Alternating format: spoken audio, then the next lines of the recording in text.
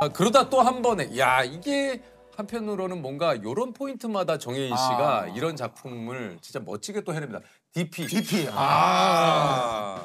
재밌게 봤어요. 진짜 재밌게. 진짜 요거 재밌게 정혜인의 재발견. 네. 예. 감사합니다. 1038기 8월 군번 이병 안준호 DP가 뭔데? 탈영병 잡는 체포조라고 알고 있습니다. 아닌 걸 아니라고 하면 그게 패급인 겁니까? 아니 진짜 그런 자- 스스로에게도 좀 그런 작품이지 않을까 생각이 드는데요. 예, 그 DP라는 작품을 만나서 음 어쨌든 뭐 남성 팬분들도 많이 생긴 건 사실이고 어, 그렇지, 그렇지.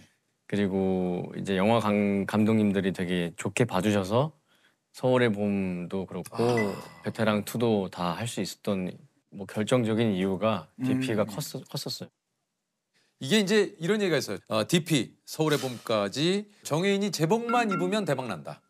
어, 정해인의 personal color는 나랏밥 look이다. 아, 야, 야, 이거- 어떻게 누가 이렇게 또 이거 장면을 기가 막힌다. 이런 거 어떻게 아, 나랏밥. 이건 우리 머릿 속에서 상상할 수 없는 거야. 이거 참 정말 아, 어, 이게 되게 아이디어가 참신한데요. 아 그죠.